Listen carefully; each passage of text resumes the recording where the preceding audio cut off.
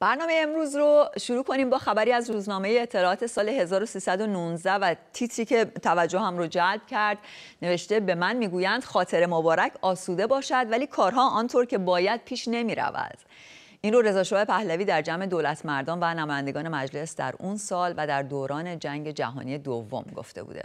رضا شاه در ادامه صحبتاش گفته که با گفتن خاطر مبارک آسوده باشد کارها درست پیش نمیره. صحیح است که ما متکی به قوای منظم و بیطرفی خود هستیم ولی این کافی نیست و باید آهاد و افراد مردم رو برای روزهای سخت حاضر و تربیت کنیم. اما این کار باید با استفاده از تمام وسایل و ابزار لازم باشد و باید دانست مقصود از وسایل چیست.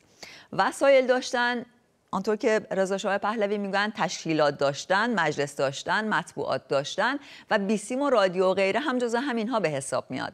اینها تمام وسایلی است که برای پیشرفت کار لازمه اما ما هیچ کدام از اینها رو استفاده نکردیم. قفلت های گذشته رو موقوف کنید و بیشتر برای بیداری افکار و مستعد کردن مردم برای روزهای مشکل اقدام نمایید. نقل قولو بود از رضا شاه پهلوی. همطور که اطلاع دارین زیربنای آموزشی و اولین دانشگاه های ایران همه در دوران او احداث شد و در دوران محمد رضا شاه پهلوی توسعه پیدا کرد. و اولین گزارش تصویر امروز ما هم در مورد همین گسترش و تحولات در نظام آموزشی و دانشگاهی در ایرانه. گزارش بسیار جالبی است. با هم ببینیم. دارالفنون که نخستین گام در راه آموزش عالی و دانشگاه های ایران به شمار می رود در سال 2480 شاهنشاهی به همت میرزا تقیخان امیر کبیر تنها با شش رشته تحصیلی و 100 نفر دانشجو آغاز به کار کرد. به دنبال آن مدرسه علوم سیاسی آموزشگاه فلاحت و مدرسه حقوقی به وجود آمدند. اما این مدارس هم متاسفانه به سبب نداشتن امکانات لازم کادر آموزشی مجهز رشته های متنوع تحصیلی و تجهیزات و وسایل مختلف آموزشی آنطور که میبایست نتوانستند جهشی در راه گسترش آموزش عالی به وجود آورند. با قیام تاریخی رضا شاه کبیر فصلی نو در تاریخ ایران گشوده گشت و زمینه برای دگرگونی هایی که در همه شؤون اداری و اجتماعی کشور و از جمله در آموزش و پرورش روی داد آماده شد و موجبات رشد فرهنگ از نظر کمی و کیفی برنامه ها فراهم آمد. رضا شاه کبیر با اعتقاد به این اصل مهم که همه چیز از فرهنگ ریشه می‌گیرد اصلاح وضع آموزش و پرورش و تربیت انسانهای بیدار و آگاه را در سرلوحه اقدامات اساسی خود قرار داد گسترش مدارس و آموزشگاه ها، تأسیس دارالمعلمین و دانشسرای مقدماتی، پیشرفت فرهنگ و صنایع ملی نیاز به آن داشت که جوانان شایسته کشور با علوم و فنون جدید آشنا شوند.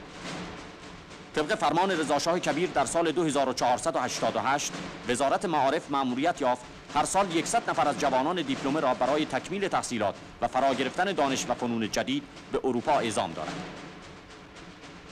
فکر تأسیس دانشگاه تهران نیز از این اقدام ارزنده و بر اثر رشد اندیشه های این جوانان بود که تقویت یافت. رضاشاه کبیر به هنگام بنیاد نهادن نخستین سنگ بنای دانشگاه تهران در سال 2493 چنین فرمودند مملکتی که دارای معارف باستانی بوده باید امروز دارای دانشگاهی باشد که در خور شعن آن است. و ایجاد دانشگاه به صورت امروزی کاری است که باید دولت‌های پیش از ما خیلی قبل از اینها شروع کرده باشند و ما حالا آن را تکمیل کنیم نه اینکه تازه از پایه بنای آن را درست کنیم. با جنگ جهانی دوم کوشش های سازنده رضاشاه کبیر متوقف ماند و رکودی برای زمانی کوتاه در شؤون مختلف ایران پدید آمد. اما با آغاز شاهنشاهی پهلوی دوم شاهنشاه آریامهر با سیاست و رهبری قاطع و اندیشمندانه خود نه تنها اقدامات نیمه تمام و ارزنده پدر تاجدار خیش را جامعه عمل پوشاند بلکه با علاقه و توجه خاص به بالا بردن سطح فکر و دانش ملت ایران کوشش های خستگی ناپذیری را در راه بست و توسعه فرهنگ ملی از جمله گسترش آموزش عالی آغاز فرمودند.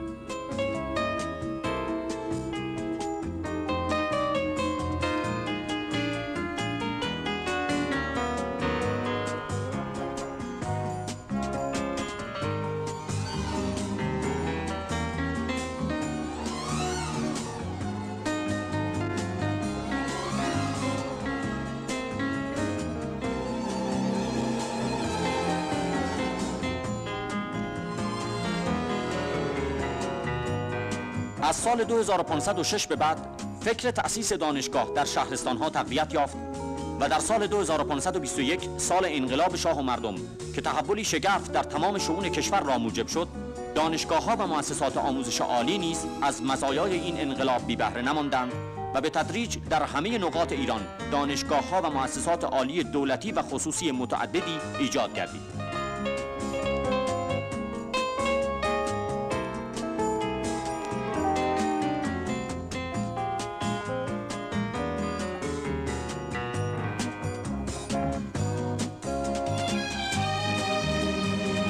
در سال 2526 بر اثر گسترش سریع و بی سابقه آموزش عالی وزارتخانه‌ای به نام وزارت علوم و آموزش عالی تأسیس شد. در 15 مرداد 2527 شاهنشاه آریامهر در کنفرانس رامسر منشور انقلاب آموزشی را که راهنمای اساسی و دستورالعمل کلیه مسئولان آموزش و پرورش است اعلام فرمودند و با این ترتیب راه و هدفهای آموزش عالی کشور مشخص گردید.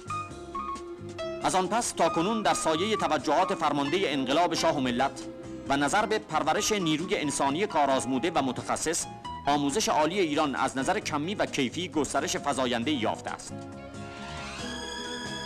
تعداد دانشگاه ها و مؤسسات آموزش عالی که در آغاز سلطنت شاهنشاه آریامهر فقط یک دانشگاه و در حدود 2000 دانشجو بود در سال 2535 بر 21 دانشگاه و 206 مؤسسه آموزش عالی با 800 رشته آموزشی بالغ گردیده است که در آنها 110 هزار دانشجوی پسر و 44 هزار دانشجوی دختر به آموزش رایگان اشتغال دارند.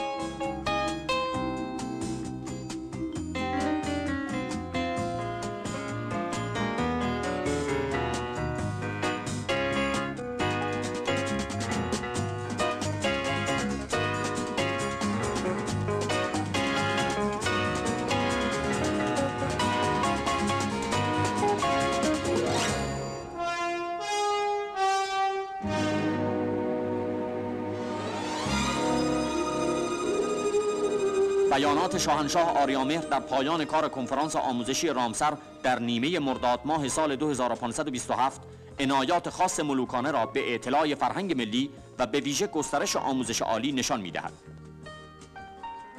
این را نیز فراموش نکنید که به خاطر تأمین آینده درخشان برای فرزندان این مملکت و پیوندی که مرا با جوانان و مخصوصا دانشگاهیان و دانشپژوهان میهن پرست این کشور متصل می دارد برای پیروزی این انقلاب من شخصا مراقبت خواهم کرد تا هر مانعی در راه آن مرتفع گردد.